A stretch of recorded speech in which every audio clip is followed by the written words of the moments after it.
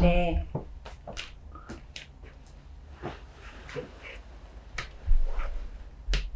네, 주소. 음. 이름. 음, 나이. 결혼했어? 네, 결혼했어요. 자, 신랑. 신랑. 생일은?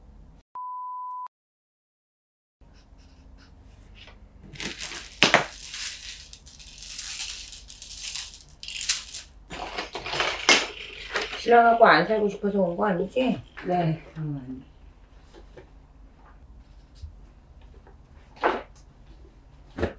결혼한 지 얼마나 됐어? 근데 왜 신랑이 바람 펴?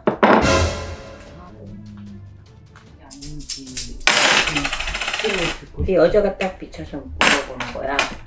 어? 여자가 비춰서 물어보는 거야. 어? 신랑이 바람 안 펴? 어?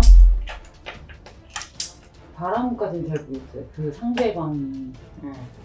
제가 의심을 하고 있는 건지 아니면 진짜 이게 확실한지를 근데 이게 딴짓 맞겠죠?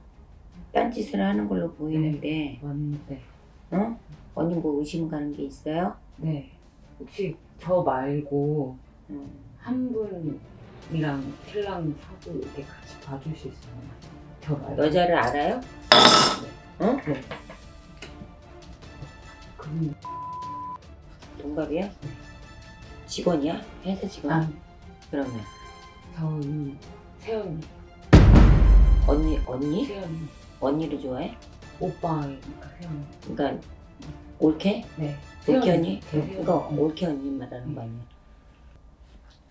이 언니랑 신랑이랑 뭐 이상한 거 눈치챘어요? 이 언니랑은 그냥 내가 봤을 때는 그런 사이는 아닌데 어?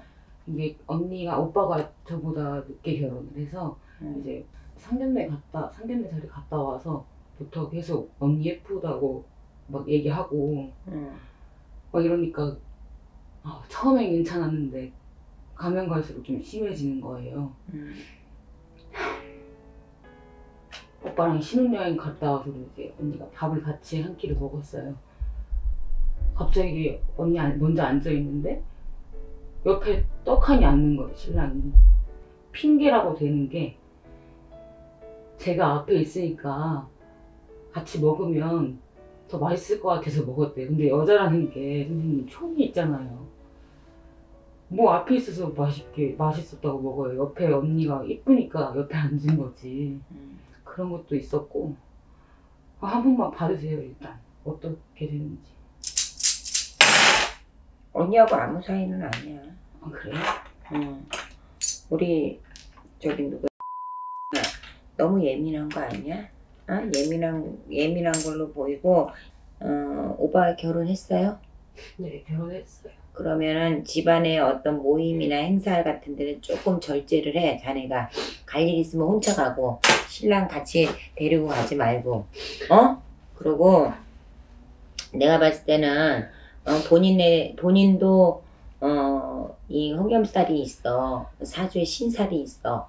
그래서 어, 본인도 이 인간의 이렇게 사람들의 사교성이 참 많고 도화직성이 있는 사주야 그러다 보니까 이 신랑이 그런 여자들을 조금 활달적이고 되게 이렇게 여자치고는 좀 화려한 여자를 좋아하는 것 같아. 그리고 신랑 자체도 끼가 좀 있어. 있는데 뭐 그렇다고 해서 특정하게 무슨 바람이 나고 어 어떤 진짜 뭐 신랑이 진짜 세연이하고 어떤 어, 불의한 행동을 했다라면 그때는 죽여버려야지. 근데 그런 그게 아닌데 어? 지금 죽이고 싶어요 왜냐면 아 결혼할 때 저는 가방 처음 받아봤는데 오늘 가방 가방을 하나 사갖고 온 거예요 음.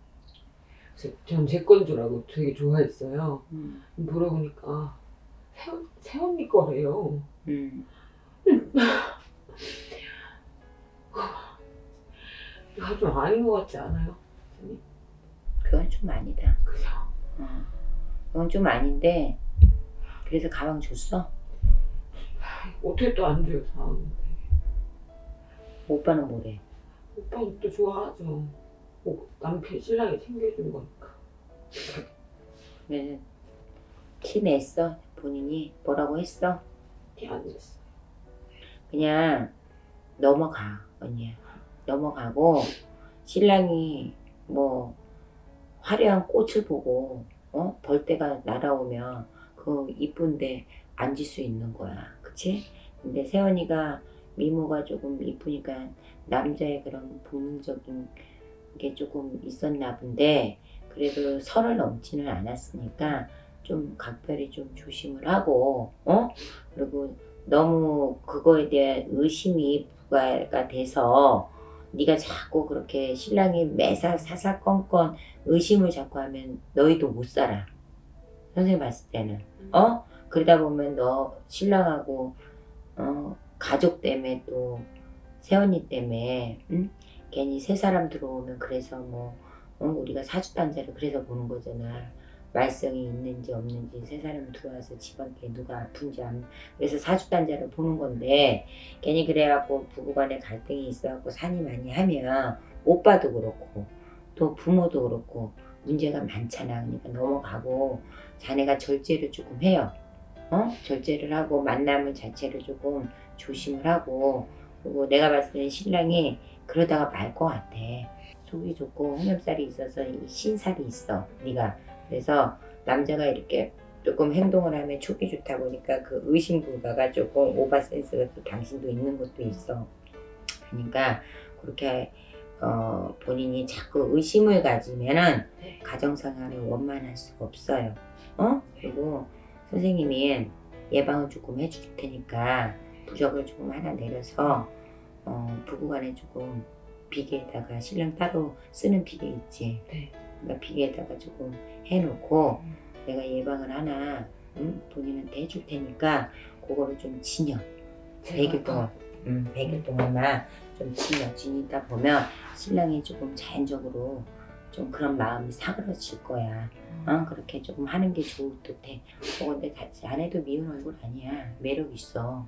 어? 매력 있고 그러니까 어, 신랑한테 조금 더 어, 본인이 살갑게 하고 조금 신랑 신랑의 어떤 행동에 대해서 본인이 의심을 너무 갖지 말고 그 절제를 할 줄 알아야 돼. 처리를 잘 할 줄 알고 처세를 좀 잘해야 당신 가정에 조금 이 백년해를 해가지 그렇지 않으면 중도에 그런 걸로 쓰는 기냐 아니냐고 어, 좋아하냐 아니냐 괜히 추궁하고 그러면은 무슨 수사방장도 아니고 네가 그러다 보면 계속 싸워야 될 거 아니야. 무슨 말인지 알겠지? 선생님 말이 좀 이득이 됐으면 좋겠다 오늘 알았지? 감사했어요. 응 그래. 알았죠? 내가 부정 내려줄 테니까. 아, 네. 어, 그래서 차후에 연락합시다. 네, 알았죠? 응 가요